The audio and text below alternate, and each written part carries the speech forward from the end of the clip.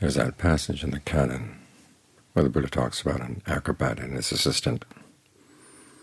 They set up a bamboo pole, and they're going to climb up to the top of the pole. And the acrobat says to assistant, okay, I'll get on, on the top of the pole, and you get up on my shoulders. And I'll look out after you, and you look out after me, and that way we'll perform our tricks and come down safely. An assistant, whose name is Frying Pan, says, no, that one too. I have to look out after myself, you look out after yourself, and that way we'll perform our tricks and come down safely from the pole. In that case, the Buddha said the assistant was right, because the main issue that an acrobat has to worry about is his or her own sense of balance. And you can't maintain someone else's balance for them. You have to look after your balance. In the same way the Buddha said, when you look out after yourself in the practice, you're helping others. You maintain your sense of balance, you make it easier for other people to maintain theirs.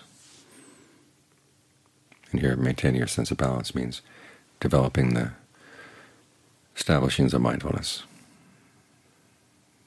Keep your framework in mind, which is the breath, the body in and of itself. You're ardent, alert, and mindful, and you're putting aside greed and distress that have to do with the world. This is the mind in balance. You're mindful to do what's skillful. You're alert to watch over your mind and the breath to see how they're going, how they fit together. And then you're ardent to make this solid. When the mind is solid like this, then things that come to it don't knock it over. One of the images the Buddha gives is of a stone thrown into a ball of clay. If your mind is not trained like this, it's like a ball of clay in which someone throws a stone. Of course, the stone is going to make an impact. It's going to make a big indent into the clay. If your mind is trained like this, it's like a solid wooden door. Someone throws a ball of string against the door, there's no indent in the door at all. So you want to make your mind dent-free, undentable, by maintaining your frame of reference. And in so doing, you're going to be behaving in a skillful way, and make it a lot easier for a lot of other people to behave in a skillful way as well. But then the Buddha goes on to say that when you look out after other people, you're also looking out after yourself. Unfortunately, there's no image to go with this. The image of the acrobat sticks in the mind. But there's no image to illustrate the fact that when you're helping other people, when you're accommodating to other people, you benefit as well but it's an equally important principle to keep in mind. And here the Buddha says you develop four qualities in your interactions with other people that will be helpful to you. Of course, these four qualities are in harmony with establishing mindfulness. But I also make sure that it doesn't become just a, a dry exercise. Because two of the qualities have to do with an attitude you develop. The word the Buddha uses, citta, can mean a mind as he says, of goodwill and a mind of sympathy. It can also mean heart. Your heart has goodwill for others. Your heart has sympathy. And it's important to remember that the practice is a training both of the heart and the mind. It's one of the reasons why the training starts out not with sitting down and getting a theoretical discussion of the basic concepts, it starts out with the practice of generosity, the practice of virtue, development of goodwill. These are qualities of the heart. You're happy to share with others. You have a principled heart, one that doesn't want to harm anybody else. And you have goodwill for all. That's the beginning of the practice. So we're training both the heart and the mind. In the case of the four qualities, you develop a heart of goodwill and a heart of sympathy. Goodwill is an attitude of goodwill for all. Sympathy is being kind to the people you're dealing with. There are a few places in the canon where the Buddha talks about sympathy, anukampan. That means a mind that moves with other minds. You have sympathy for other people's minds, other people's hearts, other people's desires. Anything that you see as skillful, you're happy to help. When the Buddha told the first batch of arahants to go out and teach, he said, do it out of sympathy for the world. And again and again, when he told the monks to go out and teach, it was out of sympathy. You see the world is suffering, and you know a way, a way to help them. That's what this basically comes down to. Goodwill is a general wish for happiness. May I understand the causes for true happiness and be willing and able to act on them. May other beings understand the causes for true happiness and be willing and able to act on them. Act on them. Sympathy, sympathy, however, you see you're in a position where you actually can give some help, and you're happy to give it. Another case where you find the word sympathy used in the canon is in the context of the ordination. When the candidate comes and asks for ordination, it please lift me up out of sympathy allow me to have this opportunity to practice. So sympathy has to do with specific kindnesses that you do for one another. And of course you benefit. The two other qualities the Buddha lists as helpful in dealing with other people and from which you benefit are patience and equanimity. Patience is the ability to put up with things, but not just be passive in putting up. It also means being patient and seeing that there are some things that are good to do, but they're going to take time, and you're willing to take the time, make whatever effort is necessary. It's strength of non-reactivity, not for its own sake, but for the sake of accomplishing something that's really good, to make the mind stable, to make the mind unshakable. The Buddha talks about patience in the context of being patient, learning to endure harsh words and physical pain. With harsh words, the Buddha says to learn how to depersonalize them. There are two ways in which he recommends this.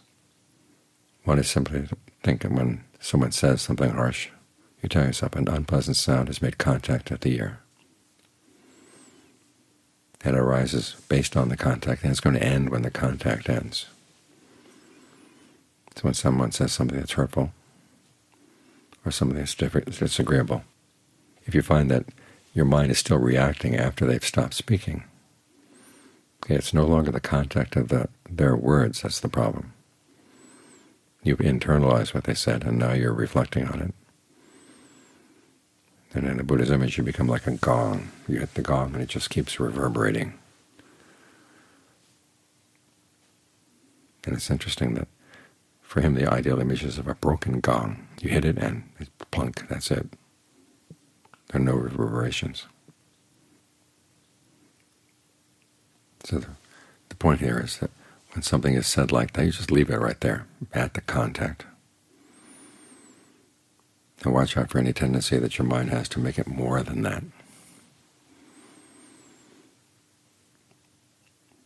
And realize that when you're making it more than that, you can't blame the other person at that point. It's your own it's your own doing and your own, something you should learn how to undo yourself.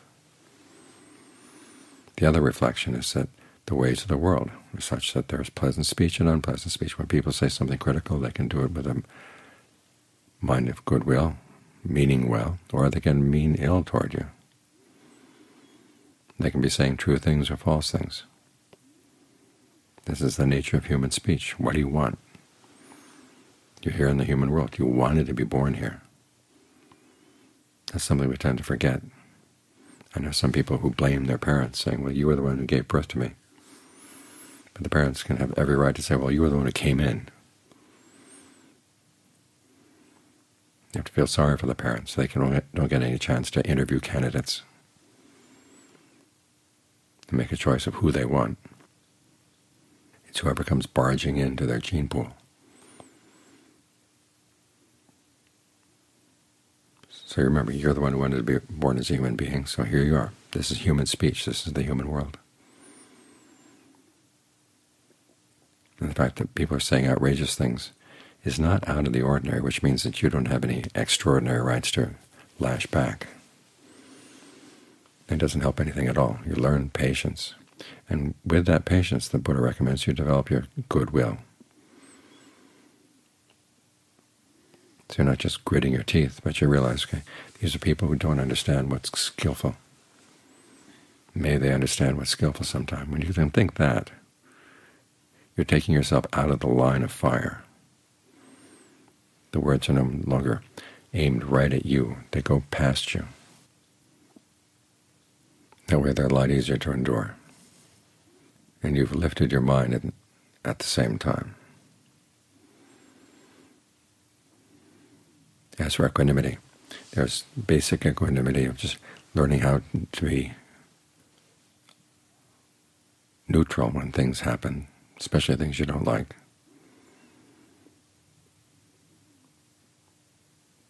How to keep the mind on an even keel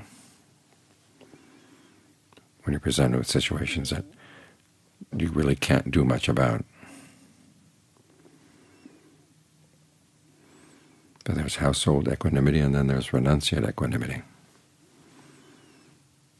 There's equanimity with the baits of the world, and there's equanimity that goes beyond the baits of the world. So the Buddha doesn't just leave you with ordinary, everyday equanimity. He advises that you lift your mind to higher levels of equanimity. And the way you do that is you don't just say, well, this is the way things are, I guess I have to put up with it. That's defeatist. You remind yourself that you actually have the potential for joy inside your mind, potential for well-being inside. You can cultivate that well-being in two ways. One is through your meditation, especially through getting the mind in concentration and having a sense of rapture, a sense of well-being, pleasure. That can come through the way you treat your mind, the way you treat your breath inside, as a place where you can settle down. Then based on the joy and the rapture and the pleasure, then the mind can settle down even more into equanimity. And it settles down because it's full, not because it's starving and tells itself, well, oh, I just have to put up with starvation. You fill the mind with a sense of well-being. So it's less likely to feel damaged by things coming in from outside. And so it's a lot easier, a lot stronger equanimity than your ordinary garden variety equi equanimity. The other way is through insight. You see the things of the world as they arise and they pass away. And you realize there's part of your awareness that's impervious to them. It's not affected by them.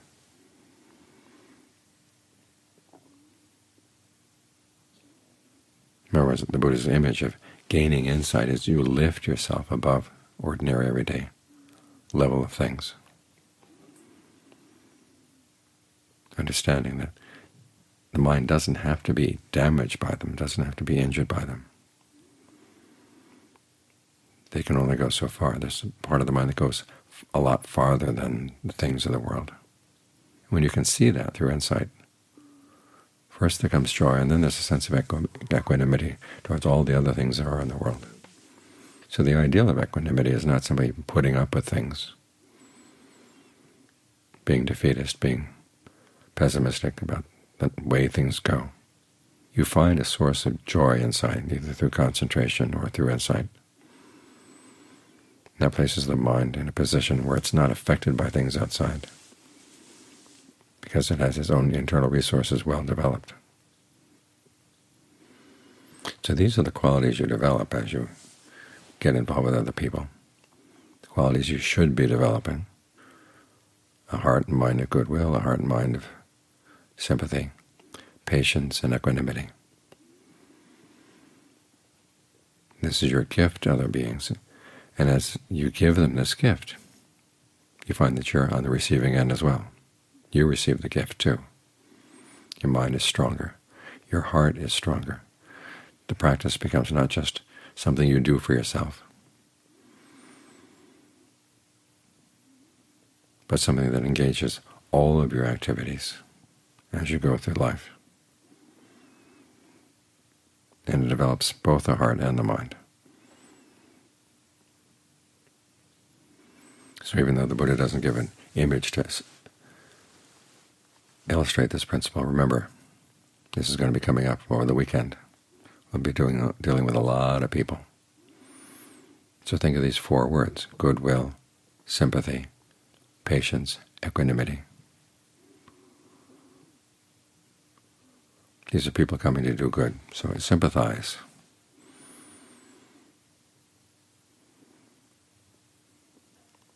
And in being sympathetic with them, helping them, you help yourself too. This is one of those aspects of the Buddha's teachings that the Mahayana gets so wrong. They think it's a choice either working for yourself or working for other beings. But the Buddha pointed out, that ideally when you're working for yourself, you are working for other beings.